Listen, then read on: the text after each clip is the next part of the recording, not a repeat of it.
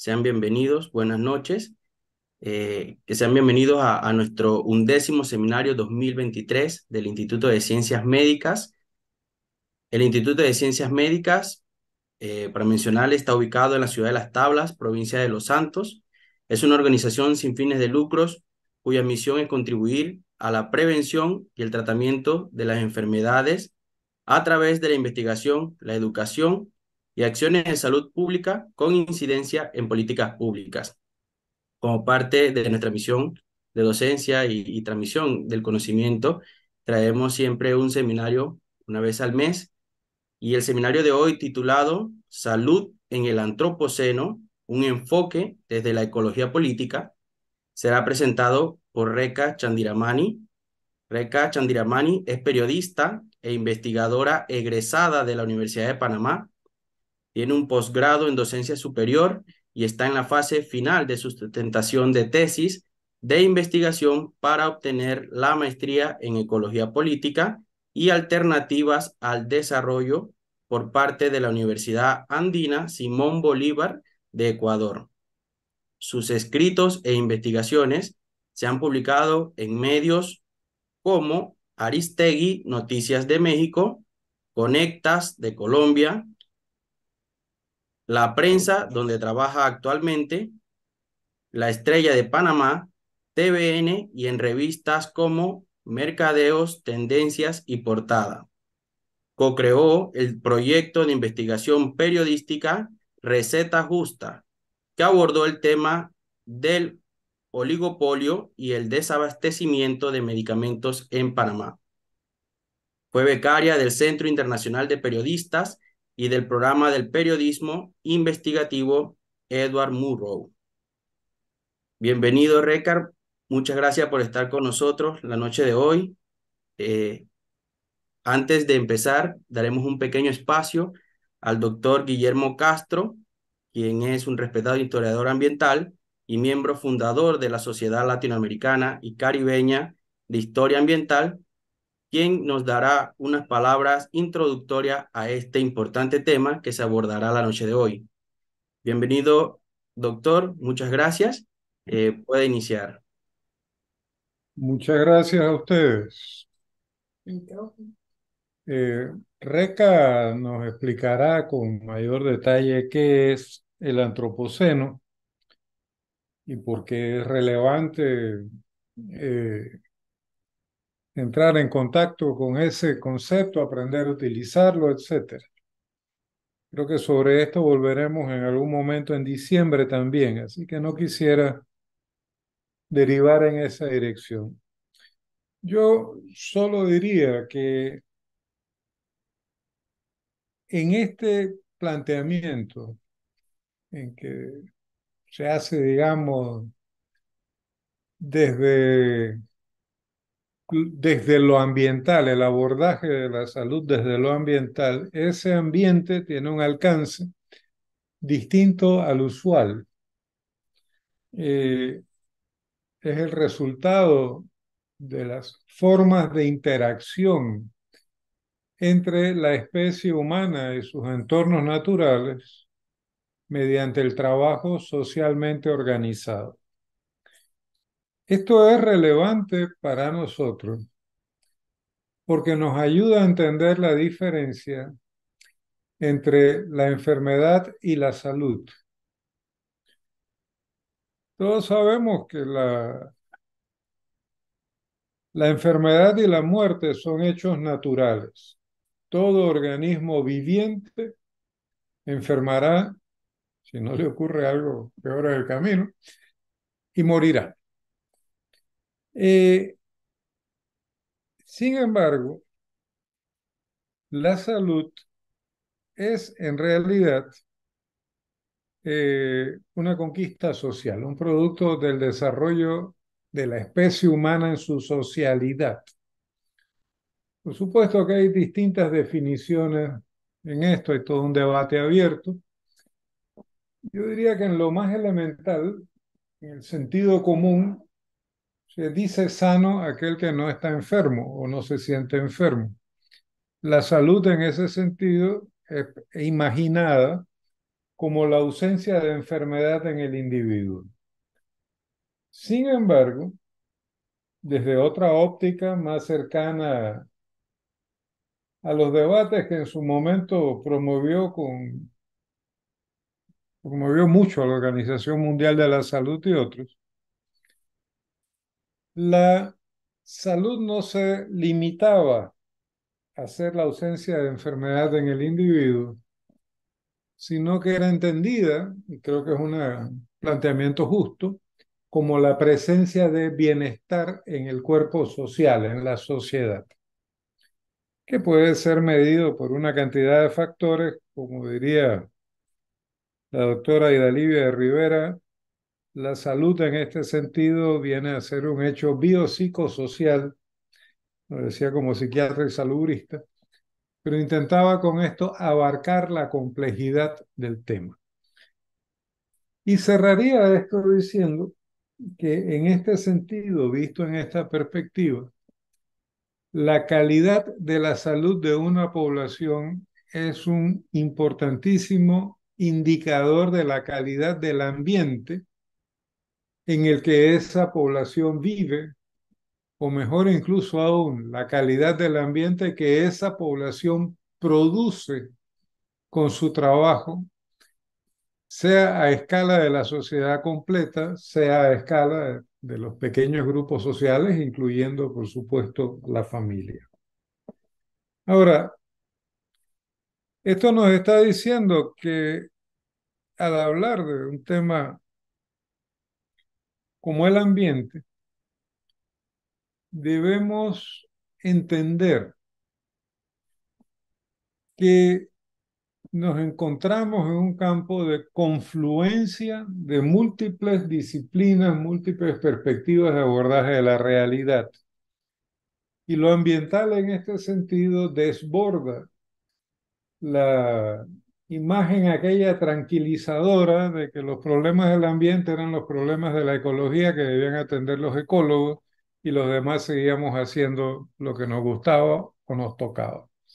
Eso ha dejado de ser cierto hace mucho y hemos visto florecer con más rapidez de lo que imaginamos de la década de 1980 para acá distintos campos de convergencia entre las ciencias de la naturaleza y las de lo humano que han dado lugar a la formación de disciplinas o campos de estudio como la historia ambiental, la economía ecológica y la ecología política. Esto es más importante hoy que nunca por razones obvias a la luz del impacto que ha tenido eh, la discusión sobre la minería y su efecto en el ambiente, pero al mismo tiempo tendría que ser de importancia para nosotros percatarnos de que mientras en el conjunto de América Latina, y de manera muy particular en Costa Rica y Colombia, estos campos del saber se han desarrollado ya, en Panamá no lo están. Reca Chandiramani, en este sentido, es quizás la primera persona que profesionalmente se ha interesado en la ecología política, sin ser bióloga de formación, y nos explicará en qué consiste esto, cómo lo aborda ella, etc. Hasta donde conozco, en Panamá no hay nadie que se dedique a la economía ecológica, aunque Juan Jované ha escrito algunos trabajos muy bien, muy bueno en, sí mismo al respecto, pero Juan se dedica a la economía, ¿no? A la economía ecológica. Y en el campo de la historia ambiental hay un solo panameño, hasta donde sé, que está terminando su doctorado en una universidad importante en Estados Unidos y que ojalá regrese a Panamá y encuentre aquí donde desarrollar su trabajo científico me refiero a José Raúl eh.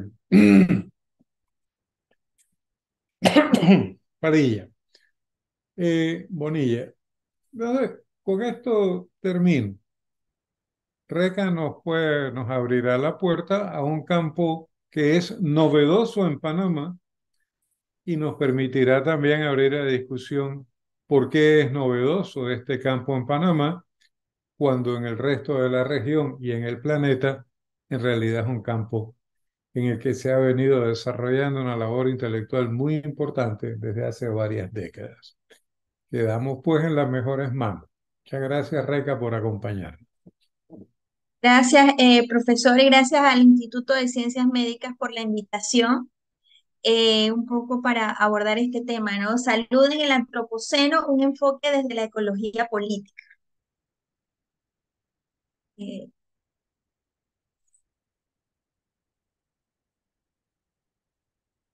Eh, ok, un poquito para ir trazando los conceptos, algunos de los que ya eh, usted mencionó, ¿no? La salud, la definición más, eh, más común es esta, ¿no? El más alto nivel de bienestar físico, mental y social, y su reconocimiento como un bien público, ¿no? Ese es el del, el del protocolo del Salvador de la, de la Convención Americana de los Derechos Humanos. Vamos a ir viéndolo un poco, un poco sueltos para después ir hilando ¿no? con la ecología política y el antropoceno.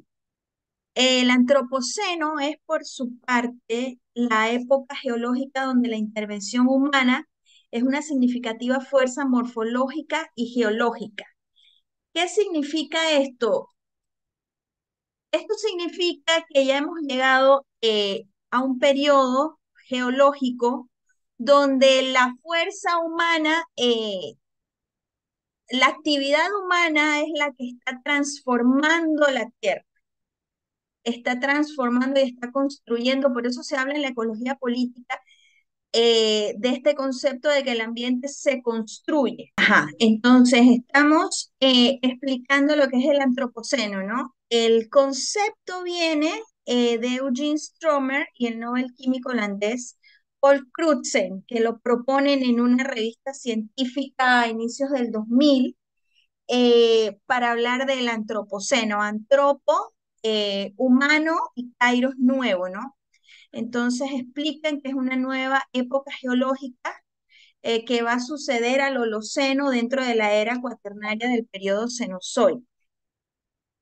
Eh, básicamente, ¿no? Eh, lo que encierra este concepto es que ahora ya estamos hablando eh, de una tierra, de una capa de la estratosfera que está transformando el hombre con sus, el hombre, la mujer, el ser humano, con sus acciones, con el, el sistema mundo, con las actividades que practica,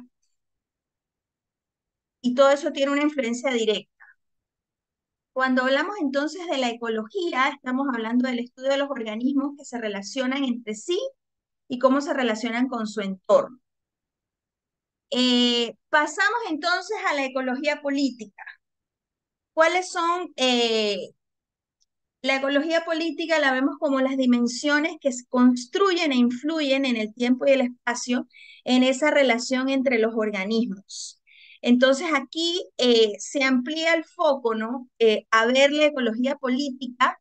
Creo que la palabra principal es la construcción eh, del, del, ambiente a partir de estas actividades, ¿no?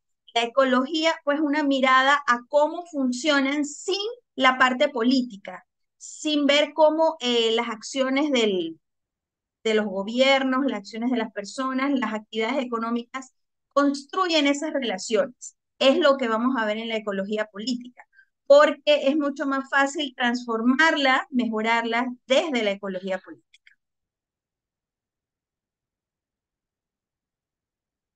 Eh, siguiendo en esa línea, las dimensiones de la ecología política son muchas. Eh, podemos hablar, por ejemplo, del cambio ambiental, eh, las concepciones de la naturaleza y desde aquí podemos empezar desde, desde Darwin, podemos empezar eh, también a ver las, las concepciones filosóficas, ¿no? Eh, ver la naturaleza como un producto a explotar, eh, ver la naturaleza como que somos parte de ella. Entonces, hay toda una concepción de la naturaleza que es funcional eh, al sistema mundo capitalista. Entonces, todo eso lo ve la ecología política. El tecnocentrismo también, cómo se puede, cómo se implantan ¿no? las soluciones tecnológicas eh, en la naturaleza, pero con una preconcepción de ver a la naturaleza como un producto más. Eh, todo eso se estudia ¿no? en, la, en la ecología política. También las relaciones y la dicotomía entre ser humano y naturaleza. ¿Cuál es la relación y cómo se construye? Si es una relación dialéctica, si es una eh, relación jerárquica, todo eso es, muy, muy importante, ¿no? Para el tipo de, de, ambiente, para el tipo de ecosistema que tenemos en los, en los distintos países. Las relaciones de poder, eso es una, una, una variante muy importante en la, en la ecología política, ¿no? Porque cómo se reproduce la desigualdad, cómo se deja de, cómo puede hacer que se, que se venza, ¿no? Esa, esa barrera, cómo la ecología produce y cómo destruye eh, el sistema mundo imperante, y ahí se analizan puntos muy importantes o líneas eh, de análisis que prácticamente se pueden aplicar a cualquier cosa que se estudie en la ecología política, el poder, la hegemonía, eh, este optimismo de mercado también. Eh, y otra cosa es, otra variante son los conflictos socioecológicos, territoriales, distributivos y de acceso, de acceso a ya sea a los bienes ecológicos, a los servicios básicos, etcétera. En el, el concepto que quiero rescatar para poder hilar la salud con el antropoceno eh, es el de cuerpo-territorio. ¿Cómo, ¿Cómo, nos afectan las diferentes eh, actividades ¿no? que, realizamos en, específicamente cómo ellas van dejando en el ADN del cuerpo humano sus efectos. Por eso la salud se entiende, este es un trabajo de, de, que saco del Instituto de la Salud Socioambiental de la Facultad de Ciencias Médicas de la Universidad Nacional del Rosario, que lo hizo en conjunto con la Fundación Rosa Luxemburgo. ellos hacen todo este análisis de las actividades para eh, pues Suramérica, ¿no? Pero muchas de ellas se pueden extrapolar a, a Centroamérica, ¿no? Porque como, como vamos a ver, no somos cuerpos que existimos fuera del, de, fuera del territorio, ¿no? Ahí, ahí, ahí podemos ahondar, puedo ahondar un poco más, ¿no? No somos cuerpos que existimos, dicen ellos en el, en el trabajo, en el vacío. Somos cuerpos que consumimos agua, eh, no, son solo, no somos solo cuerpos que nos alimentamos, eh, que estamos fuera de un territorio, sino que somos parte eh, del territorio. Y esta concepción va mucho más allá, no solo parte como dos cosas que, que se unen, que están separadas, sino que son cuerpos territorios. El cuerpo se vuelve un territorio también. Eh, en el caso del, del, por ejemplo, del capitalismo, un territorio a conquistar. ¿Qué es lo que eh, la ecología política, ¿no? Bien articulada, pues debe debe evitar, ¿no? Evitar que los cuerpos sean máquinas, eh, que sean cuerpos cerrados, que sean cuerpos objetos, que es, que es como están concebidos en la modernidad, ¿no? Por eso se habla en la ecología política también del ecofeminismo, ¿no? Cómo los cuerpos de las mujeres son funcionales a la reproducción del sistema capitalista porque son las que proveen el trabajo gratuito eh, que necesita el, capitalismo para seguir reproduciendo la fuerza de trabajo. Entonces, eh, la salud vista desde el prisma del, del concepto del cuerpo-territorio es el ejercicio eh, del derecho a luchar por una vida digna, fortaleciendo las diversidades y deconstruyendo las hegemonías. Es una condición esencial para la libertad de los sujetos y de los pueblos. Entonces vemos que el concepto de salud aquí se politiza, eh, se amplía el prisma y hay una, una actuación, una relación mucho más constructiva entre el, el término tradicional de salud, que es algo, que es un servicio que va a proveer el Estado o que bien eh, va a ser algo que se puede acceder por el nivel del, del, del poder adquisitivo que se tenga. Eh, que entonces el que tiene dinero va a poder tener una mejor salud y el que no, pues entonces se tiene que conformar con, con en nuestro país con los bajos estándares del, del sistema eh, de salud público. Eso es ver la salud desde la prisma mercantilista, ¿no? Desde el prisma del cuerpo territorio, pues es la definición que, vimos. Entonces, eh, ¿qué es el extractivismo y por qué se relaciona? Porque en, en esta coyuntura creo que eh, no escapa Panamá pues de estas, de esta pues un modelo económico social, ¿no? Basado en estas formas de producción que explotan y exportan grandes cantidades de bienes comunes, no solamente en los metales, y que son altamente contaminantes para su instalación y funcionamiento. En esa lógica, eh, vulneran derechos humanos, económicos, sociales, culturales, ambientales. Entonces, el extractivismo tiene un efecto directo. Le, voy a compartir el, la imagen ahora por el mensaje donde se ve en este mapa muy bien hecho cómo cada, eh, cada faceta del extractivismo eh, afecta cada parte del cuerpo, ¿no? Las enfermedades que produce. Por ejemplo, eh, los agronegocios, que ellos detallan ahí muy bien, ¿no? Que es la expansión de monocultivos, el uso de transgénicos, los agrotóxicos, los herbicidas, los plaguicidas, los insecticidas. Todo esto provoca una contaminación de la tierra, en el agua y en el aire y produce las enfermedades que ponen en riesgo tanto a la salud como a la soberanía alimentaria y también la seguridad de las comunidades porque tienden al, al desplazamiento, ¿no? También están los incendios, ¿no? Las quemas eh, producidas para la ganadería, para la agricultura, cómo ellas se traducen en pérdidas de biodiversidad, pérdida nuevamente de la calidad de los suelos, eh, cómo afecta ¿no? negativamente la flora y la fauna, eh, los monocultivos, que volvemos también al, prácticamente los, los efectos no se repiten en muchos de ellos. En los monocultivos está la expulsión de los pequeños productores, la contaminación con agrotóxicos, la degradación por el sobreuso del suelo, la contaminación del agua. Eh, este, este, esta gráfica habla de las salmoneras porque es un, es un problema en, en, en Argentina. Traído acá a Panamá podemos hablar de la pesca de arrastre, eh, que persiste. Hubo recientemente una, eh, pues hay un conflicto, ¿no? Porque quieren aumentar o querían eh, legalizar la pesca de arrastre para especies que no existen y que es una pesca destructiva para, para el ecosistema marino, ¿no? produce entonces esto la, la insostenibilidad de la pesca, pero básicamente buscando una lógica de exportación, ¿no? Que pone en riesgo a los pescadores artesanales y la, la soberanía alimentaria. Eh, los disculpa que te interrumpa, no sé si estás cambiando presentación. ¿Se ve ahí los efectos en la salud? Eh, estamos viendo dimensiones. Ah, no.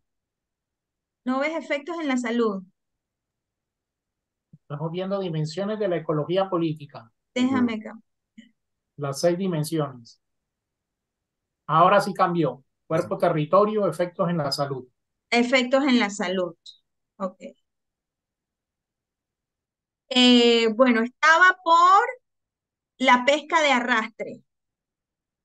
Eh, después de la pesca de arrastre, entonces podemos mencionar ahí también los hidrocarburos, ¿no? El, el efecto que tiene eh, la extracción de petróleo en, en los cuerpos, ¿no? En los cuerpos, territorios, deforestación, afectan los ciclos de vida, contaminan las fuentes de agua subterránea, todo este mar de desechos que al final nunca se pueden eh, dimensionar, ¿no? En su totalidad.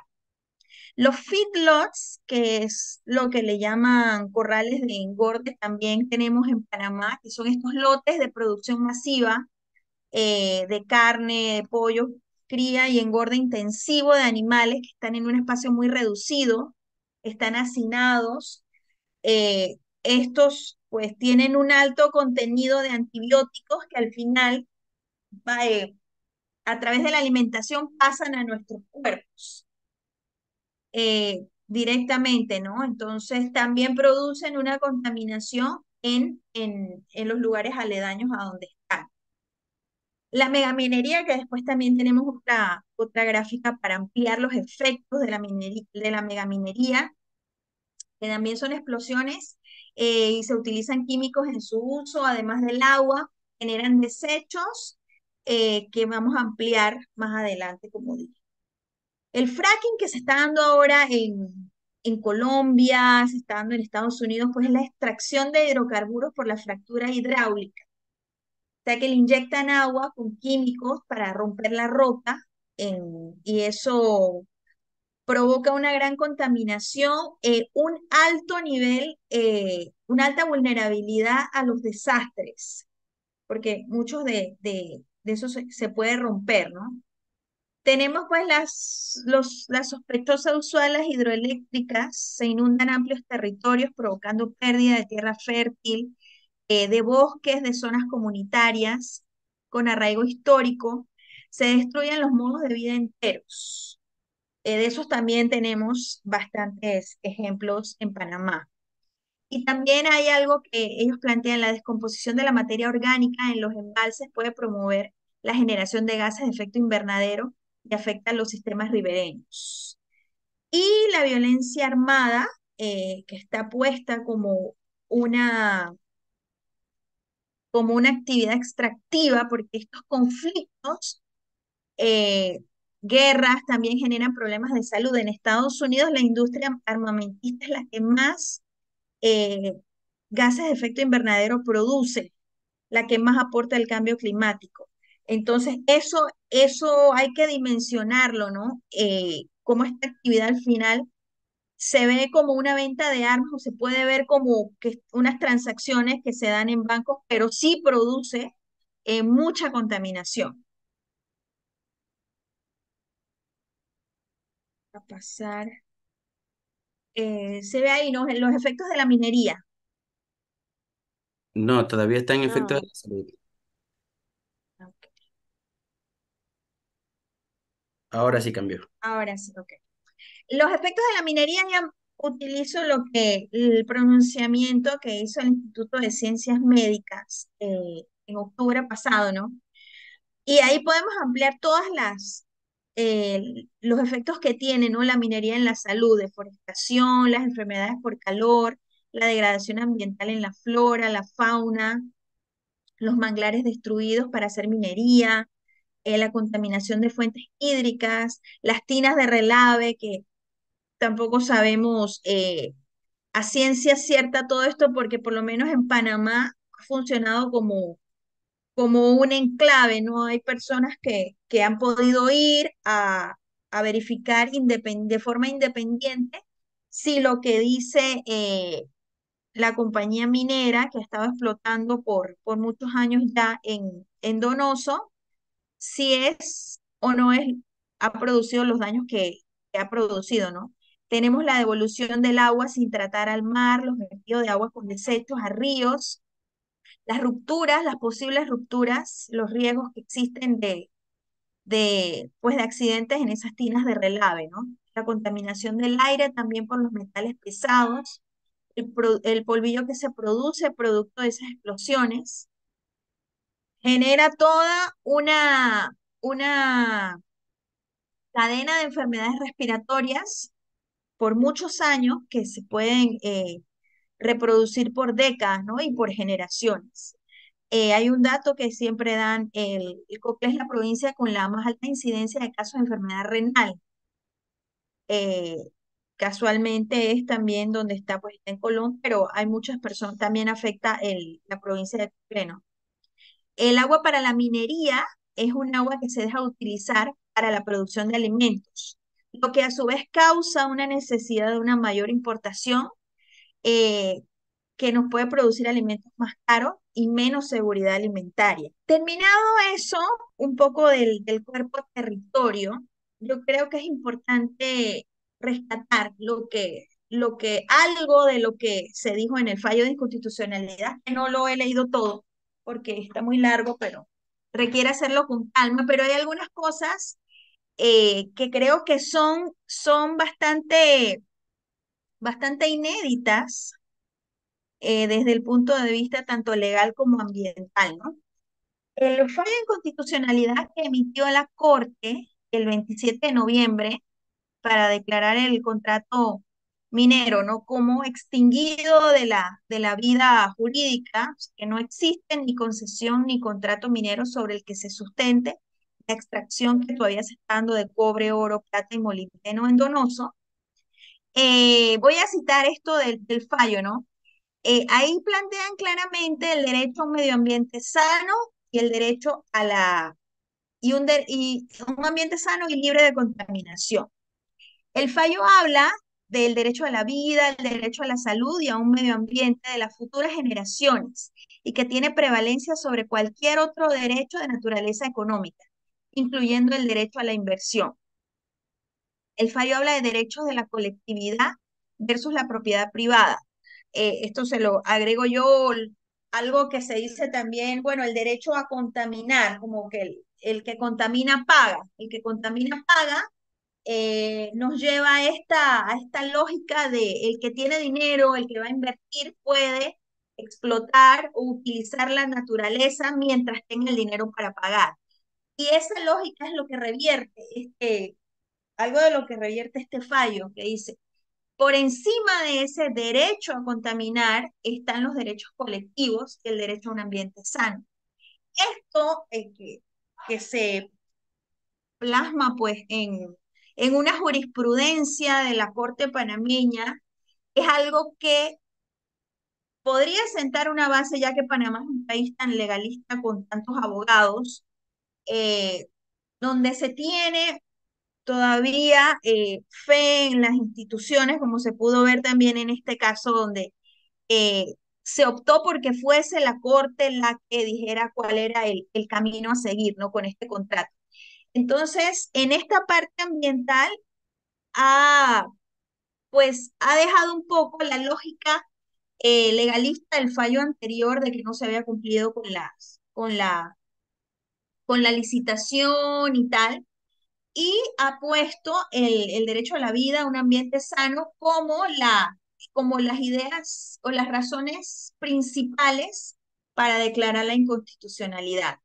Eso es una, o puede ser una base para ir desarrollando eh, una ecología política que entonces pueda llenar eh, esas expectativas de la conciencia ambiental, que no esté despertó, sino que pienso que se llegó a más personas, eh, llegó a más jóvenes que ahora tienen, ¿no? Tienen esa conciencia ambiental que ahí es donde empieza entonces el trabajo de la ecología política, a articularla, a darle una base sobre la que se pueda, eh, sobre la que se pueda sentar como un proyecto de país que como ya han dicho varios autores, ya el proyecto de país transitista está desgastado. Lo ha dicho eh, también el profesor Guillermo, ¿no? ¿Qué, qué país eh, vamos a construir a partir de ese desgaste? No funcionó ya. La juventud le dijo al,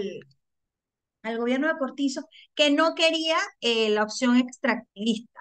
Entonces, ahora hay que empezar eh, a construir ese Panamá ecológico que es el que, que es el que está llamando, ¿no?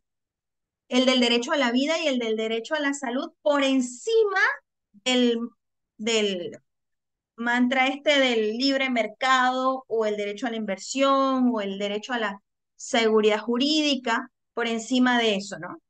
Eh, tenemos también un contexto importante, tenemos una ley de derechos a la naturaleza que aún no está reglamentada, que es la ley 287 del 24 de febrero del 2022, que la, eh, la propuso el diputado Juan Diego Vázquez eh, ya, tiene, ya, ya existe entonces toda una, una, un marco legal para ir tejiendo este, este Panamá ecológico, ¿no?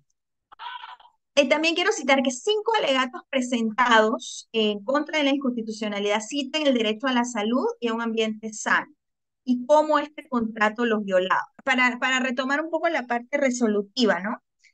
El derecho a la vida, y se encontramos en presencia, eh, la Corte dice en su fallo, ¿no? Nos encontramos en presencia de un conflicto constitucional de tipo concreto en el cual quedan enfrentados, en este caso, los derechos fundamentales de la población panameña, como lo son el derecho a la vida, a la salud y a un ambiente sano, libre de contaminación, las cuales entran en colisión con el interés particular de inmanente de las inversiones privadas que procuran el crecimiento económico.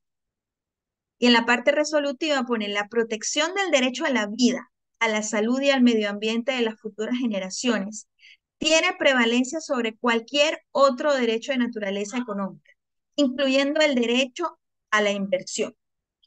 Eh, esto porque es importante para la ecología política en Panamá, porque es la Corte eh, diciéndole al Ejecutivo eh, tu concepción de, de la seguridad jurídica o tu concepción de una inversión que se había creado de hecho, porque se había creado de facto esta explotación minera, una situación que supuestamente el, Ejecutivo dijo, nosotros no creamos, sino que vinimos a regular, vinimos a resolver. La Corte le está diciendo, no es más importante esa inversión que el derecho a la vida. Incluso que esa inversión está en contra o va en contra eh, de, las, de lo que podríamos, de lo que tendría que hacer el Estado para garantizar esa continuidad en, para las próximas generaciones, esa continuidad de la salud para las próximas generaciones. En la ley de derechos de la naturaleza, dice, el Estado debe contar con las políticas públicas necesarias para asegurar el interés superior de la naturaleza, ahora con su valor intrínseco y con independencia del valor utilitario que tenga para los seres humanos. Aquí la Corte toma eh, e interpreta un artículo de la ley o el espíritu, pues, de la ley de la, de la ley de los derechos de la naturaleza. Es importante porque, porque esto reubica la naturaleza no como un ente a explotar. Entonces podemos hablar de un cambio de paradigma, eh, donde la naturaleza ya tiene que, debemos ir hacia que la naturaleza deje de ser un producto eh, por eso, se, incluso en el sur, cuando se hablan de alternativas al desarrollo, ya ni siquiera nos referimos eh, a recursos naturales, sino a bienes naturales. Entonces, eh, la naturaleza es una entidad viviente, dice la ley de los derechos de la naturaleza, y tiene derecho. Y no solamente, no es exclusivamente un objeto que se puede explotar y utilizar. Esto hace, pues, ¿cómo, cómo entra esto en la práctica? Cualquier persona eh, que ve que se está violando un ecosistema o que se está eh, explotando de una manera ilegal, de una manera que va a poner en peligro el, la sobrevivencia, el, el derecho a la salud, tanto, tanto ahora en el presente o en el futuro, o quizás solamente que pueda haber la posibilidad de que eso pase, entonces puede acudir a las instancias legales, eh, pues todavía no podemos saber exactamente las, no, no hay tribunales y esto porque esto tiene que reglamentarse, pero es el espíritu, ¿no? Es el espíritu que adopta el Estado con esta ley. ¿Cómo esta ley? Porque tenemos muchas leyes. ¿Cómo esta ley a, eh, va a transformar la realidad, eso es lo que está por verse y eso es lo que está por construirse, porque definitivamente no basta con, con tener la ley para que eh, se proteja ¿no? a la naturaleza. El, algo también importante que como la como define, ¿no? La ley reconoce hacia la naturaleza como un ente colectivo, indivisible y autorregulado, conformado por biodiversidad y ecosistemas interrelacionados entre sí. Esto es muy importante también porque me, eh, lo que se me viene a la mente es como la compañía minera dijo, bueno, si nosotros no estamos en la cuenca del canal y estamos separados, haciendo ver que las fuentes de aguas no se interconectaban cuando todos sabemos todos los afluentes que caen sobre eh, los ríos que alimentan el canal, que no solamente alimentan el lago, eh, los lagos del canal, ¿no? Son varios ríos, son muchos ríos, entonces hay una interconexión y no se puede ver a la naturaleza como, como estos bloques eh, separados o piezas de rompecabezas.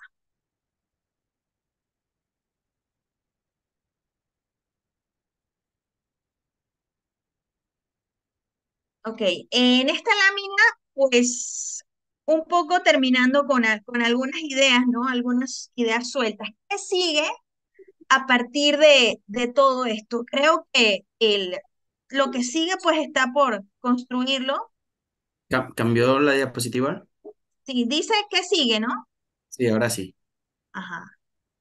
Eh, ¿Qué sigue, no? Pues ¿cómo nos podemos reconcebir desde la ecología política? Porque este, este, si vamos a tomar, si vamos a tomar este fallo como una, eh, una parte, uno de los poderes del Estado, diciéndole a otro, eh, ahora nuestra concepción, ya sea citando esta ley, citando cosas de la Constitución que ya existen, pero dándoles otro, dándoles, reforzando pues el enfoque, reforzando la necesidad de que el Estado proteja estos derechos colectivos, estos derechos a la vida, a la salud y al bienestar, ¿no? Entonces, lo que queda es en estos espacios, espacios políticos, espacios educativos, académicos, eh, comunitarios, eh, preguntarnos, ¿no? ¿Cómo reconcebirnos desde la ecología política?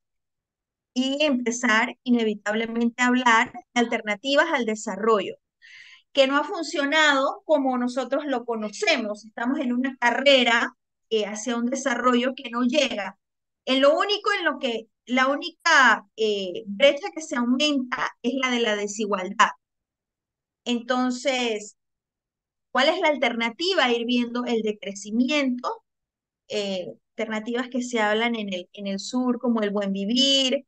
Tenemos también eh, concepciones desde los grupos indígenas en Panamá, ir viendo entonces este otro tipo de economía, las economías cooperativas, los autogobiernos, las escalas comunitarias, eh, la economía descentralizada, hablar de un Estado plurinacional, reconocer las diversidades, los modos de vida dinámicas y pequeñas economías eh, distintas. Esto requiere, pues, hay que decirlo, ¿no? Despojarnos tanto en el, en el discurso tradicional mediático, en el discurso tradicional empresarial, en el discurso tradicional político, de estas eh, como, como comunista, como terrorista, pues hay que ir superando ese discurso para ir hablando de estos otros, otros modelos que van a requerir en algunos casos un decrecimiento, porque, por ejemplo, eh, hay que ir, por ejemplo, rompiendo esquemas políticos cuadrados impuestos desde afuera.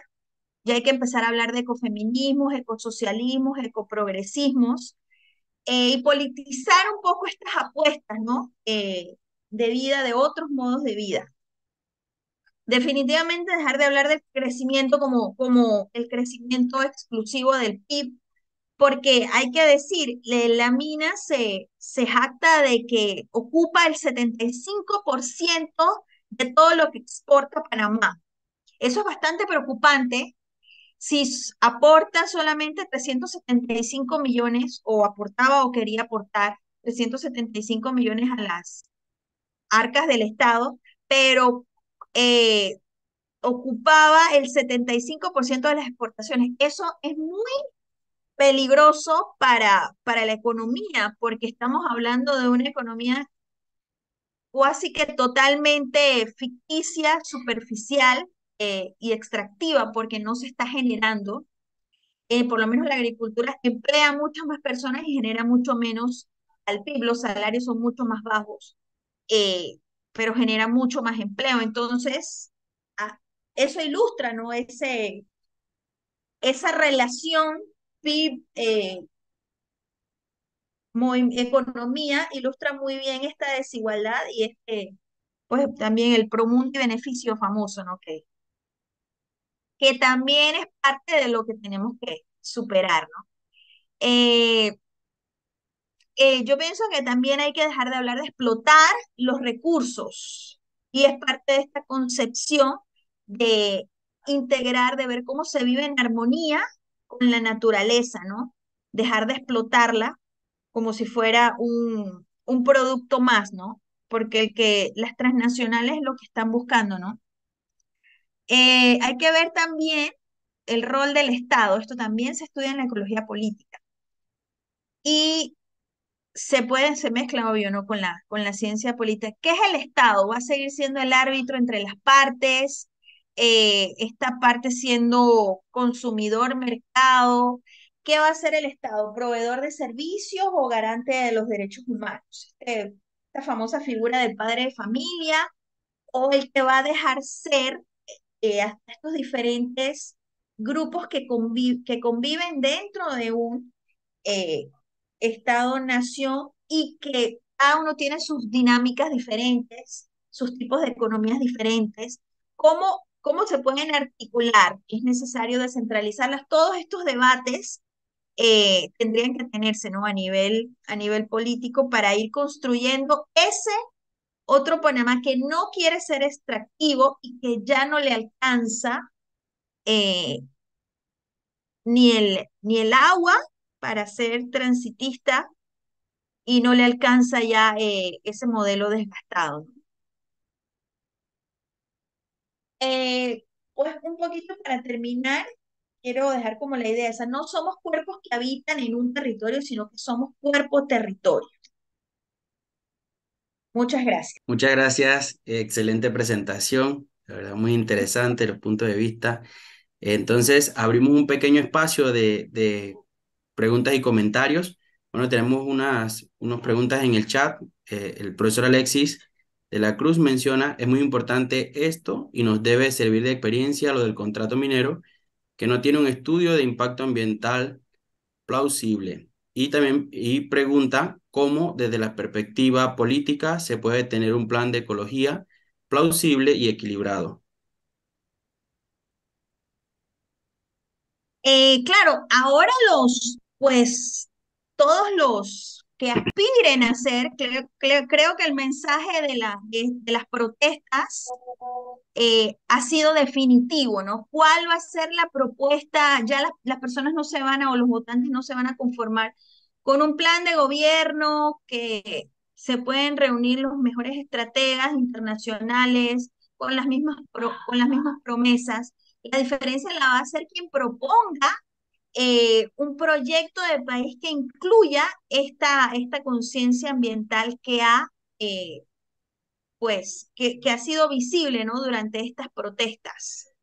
Como, como es, que no sea extractivo, pero que pueda trascender el transitismo, un post-transitismo. Eso debería reflejarse en, no solo en los programas políticos y en la propuesta política y ya ya las personas están diciendo, no, no, también en una historia o en un antecedente de esos candidatos o candidatas que aspiren.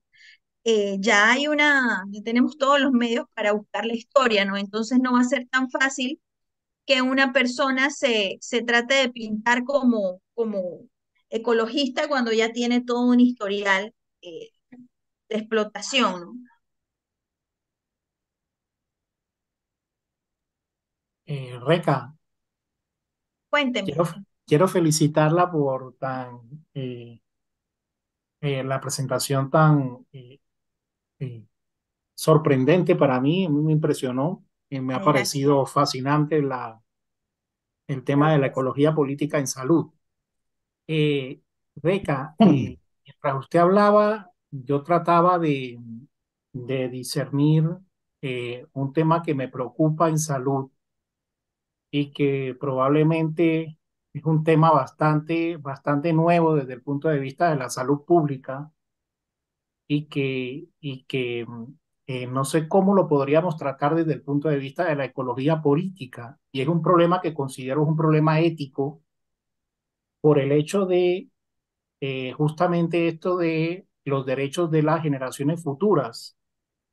Pero eh, acá existe un problema que va más allá de eso, en el sentido de que en salud pública y en medicina, eh, nosotros hemos descubierto que cuando a los ratoncitos en un laboratorio se les deja, por ejemplo, en hambruna, en experimentos donde se les deja en hambruna, estos ratoncitos empiezan a hacer marcas epigenéticas en su DNA y luego uno puede seguir estas marcas epigenéticas hasta por 10 generaciones consecutivas.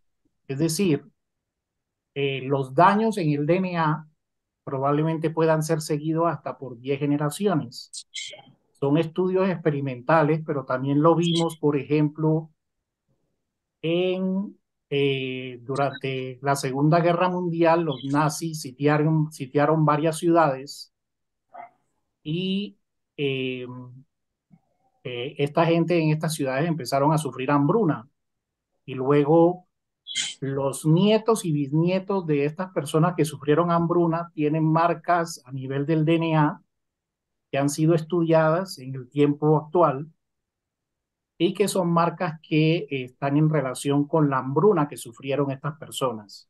Entonces, lo que está por estudiar es el, el, impacto fisiológico y en la salud que tienen estas personas en su vida actual.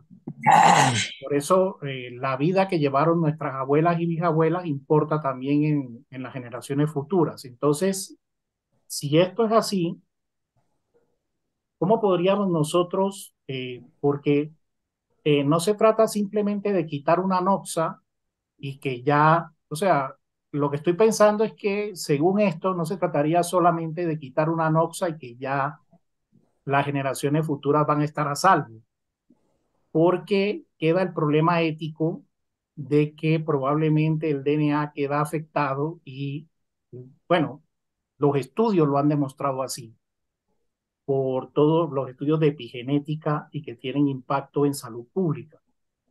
Entonces, eh, ¿cómo podríamos nosotros, desde el punto de vista de la ecología política, eh, empezar a abordar esta, esta, estos temas de salud, ¿verdad? Que impactarían, que impactarían, eh, que vienen, o sea, es como si la desigualdad quedase grabada en el ADN.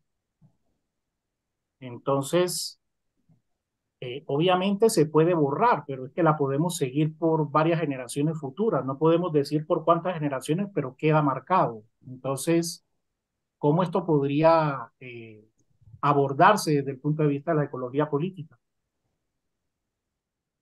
Eh, esa es una pregunta muy interesante. Desde la ecología política, eh, por ejemplo, se tratan estos, estos, estos conflictos éticos vistos eh, también que lo, lo, lógico que debería ser, el, que deberían hacer los estados es visibilizar todo el daño que producen, en este caso, el, las actividades extractivas, los transgénicos, los agroquímicos, cómo, cómo ellos se van quedando en el cuerpo, incluso, usted bien dice, por, por varias generaciones. Eh, y se va afectando, por ejemplo, en este, la afectación de los antibióticos, incluso sin consumirlos directamente, hay una, hay una afectación ¿no? a través del consumo de, de, carne, de carne animal. ¿no? Entonces, en la, en la ecología política trazada o, llevada a políticas eh, de salud, básicamente visibilizar las investigaciones, que las investigaciones sean, eh, sean un bien público también, porque hay, mucho, hay muchas críticas dentro eh, de estos espacios, ¿no? De que muchas veces las transnacionales son las que controlan también lo que estas investigaciones a través del financiamiento, eh, a través de revistas no todas, pero hay, hay como un, como muchos, también como muchos obstáculos para hacer la investigación independiente, obstáculos que ponen eh, las mismas transnacionales, que son las que eh, lucran, ¿no? A través de la contaminación a, a, escala masiva, ¿no? Con los transgénicos, con la, con la comida chatarra, con, eh, con estas semillas genéticamente modificadas, ¿no? Entonces, iría por el lado de, eh, de que haya más, más eh, financiamiento público para estas investigaciones que, que sean que, o sea, que garanticen una visibilización de todos estos efectos. A, para, con el propósito de que, de que se aminoren, de que se reduzcan y de que el Estado no caiga, o sea, todos los individuos no caigamos eh, presa, ¿no? De, o seamos eh, cuerpos utilizados por, por estas transnacionales sin ningún tipo de la, información que, que, requerimos, por lo menos para, eh, para decir, ¿sabes qué? No, esta actividad no. En este caso, por ejemplo, el de la, el de la minería, hay pocos estudios eh, contundentes. Ahorita, ahorita tendrían que empezar a hacerse, ¿no? De cuáles van a ser los efectos, porque no es que ellos van a cerrar y ya no vamos a tener efectos todos estos efectos van a, eh, el efecto en el agua, el efecto en la salud de las personas que están cercanas eh, al, al, área del, de la explotación, que tienen que empezar a salir, ¿no? Usualmente la, la, las transnacionales las mantienen, usan todo su poder para invisibilizar todos estos eh, efectos a la salud que tienen estas actividades. Y desde la ecología política es donde tendría que venir el, la demanda, la demanda social de, de, de, que todo esto se haga público, de que todo esto se haga eh, con financiamiento independiente, de que todo esto se haga donde se garantice el bien común apegado a lo que dice el fallo, ¿no? Al derecho a la salud y al derecho a la vida, versus como siempre se ha hecho, usualmente se ha hecho en este país, que es siempre eh, poniendo por encima el, la, la inversión privada, pues, el lucro privado. Vamos a, eh, a dar paso en orden de levantar la mano. Eh, le daríamos paso primero al, al, profesor Daniel Panario y luego entonces al, profesor Heriberto Franco. Gracias. Sí, eh, yo le preguntaría cómo, cómo analiza desde su perspectiva el concepto de una sola salud que acaba de acuñar la Organización Mundial de la Salud? Eh, una sola salud. Me, me, tendría que ilustrar en ese concepto porque ahí no es, o sea, en, lo que dijo la, la OMS. Sí. No, amplíeme porque no, no estoy actualizada en eso. Bueno, este, la, a partir de la pandemia, ¿no? Que eh, se generó en el fondo porque los animales salvajes se concentran en pequeños espacios este, en lugar de poder, donde se tienen contactos que no tendrían por qué tener. Luego la, sociedad los usa, la sociedad los usa para alimentar cerdos y gallinas que están hacinados también y debilitados con antibióticos y todo eso. Luego lo comen sociedades que también están hacinadas y muchas veces malnutridas. Bien, este, entonces a partir de eso se crea el concepto de sola salud como la salud ambiental de los ecosistemas, ¿no? Y luego este, hacia arriba, digamos, este, salud en el consumo, digamos. Bueno, para hacer una explicación muy cortita de un tema muy complejo, pero eh, me parece que el cambio que tuvo la Organización Mundial de la Salud, este, acuñando ese concepto de una sola salud, este, me parece muy importante desde el punto de vista de la economía ecológica. Por eso, eh, de la economía ecológica y de la salud este, y la ecología política, ¿no? Este, por eso te lo preguntaba. Gracias. Sí, cómo no, pues sí, toda la razón, ¿no? Somos, hay un, una, una preconcepción, ¿no? En los, en los hindús, no somos lo que comemos, entonces eh, va por ahí, ¿no? El, no nos podemos eh, apartar, ¿no? Y, y, de todo el ecosistema, y, y la pandemia trajo esto, esto, estas discusiones eh, a la palestra, ¿no? Cómo concebimos la salud, el derecho a la salud. Al final también muchos países eh, entendieron que el Estado tenía que asumir más en su parte de proveer, ¿no? Eh, la salud a, a, todo el mundo, ¿no? A la mayoría de, de, la, de la población para garantizar que fuese el final universal.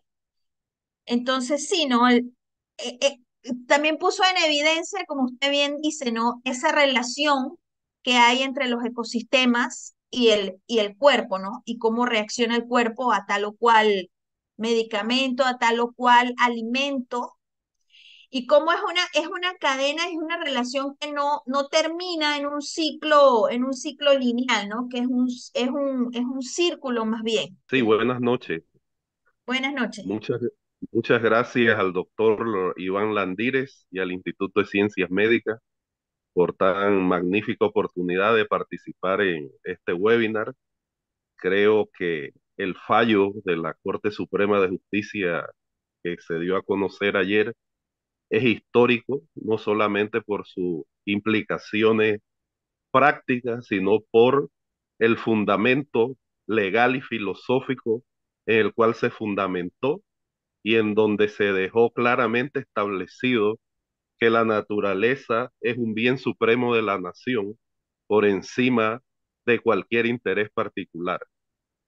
Otra situación, bueno, y además como docente universitario, me parece que ese fallo tiene que ser objeto de estudio en cada una de nuestras universidades, porque eh, en realidad es un fallo que tiene muchos fundamentos en la parte de ambiental, en la parte de aspectos de salud legal que deben ser estudiados. En esa relación, quisiera hacer una pregunta. ¿Cuál va a ser el fundamento de esa nueva economía que va a desarrollar el mundo que se viene en los próximos años? ya sabemos que no puede ser el mismo concepto del extractivismo, pero a partir de la ecología política, desde dónde podemos empezar a diseñar ese futuro en donde se respeten los ecosistemas y que se vea como una unidad indivisible hombre-naturaleza. Gracias y felicidades por la conferencia. Muchas gracias. Bueno, yo creo que ahí es donde hay que, eh, esta nueva construcción tiene que partir desde cuestionar la misma lógica eh, y lo hace la, la, ecología política, por ejemplo, en, en, en estas escuelas desde las alternativas al desarrollo, ¿no? No se pueden eh, construir alternativas con la misma lógica de acumulación infinita en un planeta finito. Entonces, la base de esta, de la construcción de estas nuevas economías tiene que partir, en, en mi opinión, ¿no? Y en el, pues, en, en del, del cambiar la lógica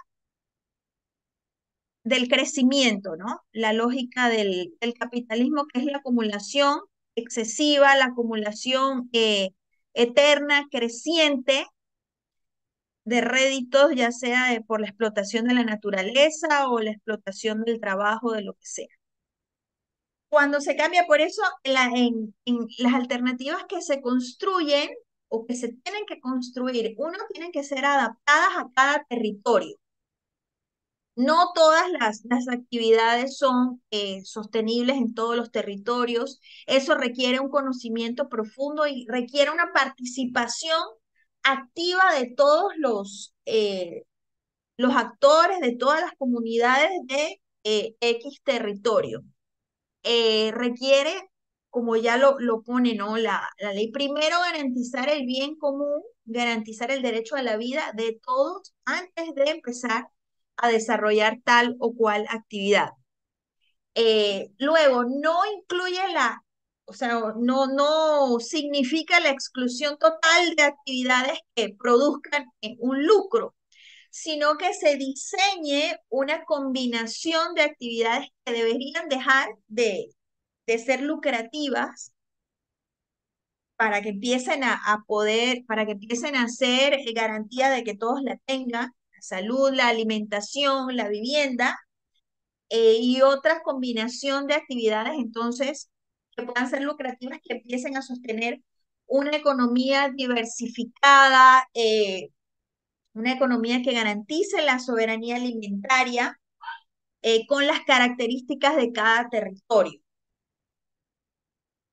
Requiere pasar por, por algún tipo de descentralización, por algún tipo de, de rescate de autogobierno, rescate de autonomía eh, de las distintas provincias, de las distintas eh, comunidades, que son al final las que mejor pueden eh, supervisar, las que mejor pueden fiscalizar cómo, cómo, cómo se va desarrollando esto, ¿no? Para en ese momento, en el momento en que se salen de, de su cauce, el, la actividad que sea, o, el actor que sea, entonces pueda eh, recoger nuevamente, ¿no? Y volver al, al cauce. Entonces, como, como puse ahí al, final, ¿no? El decrecimiento, el, hay muchas cosas que yo lo veo un poco en Panamá como un, Panamá puede ser por su propia eh, la propia eh, distribución geográfica, ¿no? Un laboratorio para muchas actividades económicas en las distintas provincias, eh, donde, donde ah, se podría aplicar en una provincia una cosa y en otra provincia otra totalmente diferente y podría funcionar si hay una buena articulación. Pero también habría que salir de la lógica esta del Estado central que está en la provincia de Panamá, que necesita gastar mucho eh, con presupuestos totalmente inflados para garantizarle ganancias eh, a, empresas que luego entonces son las que le garantizan las ganancias a los políticos vía la corrupción. Todo eso es un trabajo muy, eh, muy grande que hay que sanear. Hay que sanear primero esa forma de operar y luego entonces simultáneamente, ¿no? Ir transformando estas o ir construyendo estas, esta nueva economía o transformando muchas de ellas, porque muchas ya funcionan. En, en Santa Fe funciona el, el cooperativismo, en Chiriquí eh, funciona bastante bien el, la agricultura y hay muchas personas que, que están en, en, pues que se sostienen de eso. Entonces ya hay modelos que, que habría un poco que darle el empuje desde desde el, desde el Estado, una independencia eh, una autonomía también financiera y, eh, profundizarlas y incentivarlas, ¿no? Muy bien, eh, excelente. Tenemos una pregunta en el chat de Laura Arana, recomendaciones de autores de ecología política. Bueno, se los voy a mandar ahí por, por, pueden leer siempre a la ecología de, Marx, que también tiene pues sus, cómo se va transformando esto es un, es un, es un buen punto de partida y creo que nos puede ayudar también el, el, el profesor. Uno que me gusta a mí mucho es eh, Horacio Machado, que es un autor argentino, y el, el, enfoque de él en la, en la ecología política, y él trata mucho también el tema del extractivismo, es, es, un, es un enfoque que me gusta mucho, ¿no? Está Miriam Lang, está Edgardo Lander, eh, hay, hay todo un cuerpo de, de, autores, ¿no? En el sur, eh, también pues desde México, desde Estados Unidos, también un poco de Europa, solo que usualmente los enfoques de los autores de Europa y Estados Unidos están algunos escritos desde eh, esos enfoques del norte, ¿no? Que también pueden, pueden no ser a veces tienen estos, estos matices, ¿no? Desde de utilizar los recursos del sur y tal, ¿no? Entonces, si queremos una cosa, eh, una economía que se vaya construyendo desde nuestras realidades, también es bueno buscar estos autores, eh, como, como el profesor Jované, también se están haciendo unos escritos en Panamá para abordar eh, la economía ecológica, pues es muy poco, pero ir hilando, ¿no? Desde el sur, en, en Ecuador y en, en, en Argentina, en Brasil, ya hay cuerpos literarios muy, muy profusos, extensos sobre ecología política, ¿no? Ok, muy bien. Y bueno, una última que colocaron en el chat, eh, es de Arturo Cabrera. Eh, ¿Cómo podemos en Panamá cambiar nuestra constitución para que la naturaleza tenga derechos como cualquier ser vivo? Países como Ecuador y Bolivia ya cuentan con estas bases para que no sean solo palabras. Bueno, esa es una buena pregunta. Creo que el, el, se está activando, por lo que he visto, nuevamente un intento de hacer una constituyente eh, originaria. Como hay una, un poco, se puede decir una piedra en el zapato de que las constituciones, la constitución desde el 2004 eh, tiene estas formas paralelas, la paralela y la otra de las dos asambleas, que al final lo que, lo que garantizan es que a través del poder político, el, el, pues que el soportado o, o que apoya el poder económico, que el poder económico sea el que pueda hacer estos cambios. Entonces, a partir de ahí se dificultó mucho más que sea una constituyente originaria. Entonces, cuando empezamos a hablar de constituyente, siempre salen estos debates que la constituyente originaria viola la, la, la misma constitución cuando es el espíritu, debería ser el espíritu de la constitución, cambiarse, eh, cambiarse cuando las personas, la mayoría, eh, hoy hay un consenso de que hay que cambiar, ¿no? Eh, tendría que hacerse para ir hacia un, un, Panamá que sea totalmente libre de minería, para, para poder incluir los derechos de la naturaleza, sería el mejor camino para poder incluir espíritus, esto de eh, un Estado plurinacional como tiene Ecuador, como tiene Bolivia. Se hizo desde la Constitución, ¿no? Desde un entendimiento de proyectos políticos que llegaron eh, con eso, eh, pues con ese entendimiento, ¿no? De, de, cambiar un poco, romper ese, ese paradigma del Estado oligárquico. Aquí tenemos, pues, un trabajo un trabajo pues fuerte que hacer, pero cada, cada vez creo que hay más conciencia de que es necesario hacerlo, de que es necesario hacerlo y ojalá pues se dé un intento que obtenga más apoyo, ¿no? Creo que hay que tener, si no me equivoco, medio millón de firmas o para poder pedir una constituyente originaria. Luego vendría todo un debate, ¿no? De cómo, cómo hacer que la mayor cantidad de las voces puedan participar eh, y no solo participar como, por ejemplo, meterse en una página como en el Pacto del Bicentenario y decir tal cosa y después que un comité de expertos usualmente que también provienen eh, sin demeritar los, eh, la trayectoria que tengan, pero son personas que las nombra usualmente estos mismos sistemas que garantizan que los privilegios de los que lo tienen y los que lo reproducen se mantengan intactos. Eso también hay que estar atentos a verlo ahora tras del fallo. Hay un fallo, pero un fallo con una correlación de poder que tenemos en Panamá no significa, porque no lo significó antes y creo que nunca lo ha significado, una aplicación inmediata, una subordinación inmediata al Ejecutivo al, al efecto del fallo. Entonces requiere de una ciudadanía constantemente pendiente eh, de que las cosas se hagan, de que se les respeten su derecho. Creo que la gente ha empezado a abrir los ojos. Quizás estamos en, en, un, en un estado de, de desconfianza eh, extremo, pero ese estado de desconfianza tiene que ver, tienen que ver eh, no solo los políticos, sino todas eh, todos estos grupos que, bueno, los poderes fácticos, ¿por qué se ha llegado a tal estado de desconfianza? Porque hay toda una historia, hay todo un historial donde la mayoría nunca ha sido lo que o la voluntad de la mayoría no ha prevalecido, ni siquiera se le ha consultado. Entonces, esa desconfianza es efecto de eso.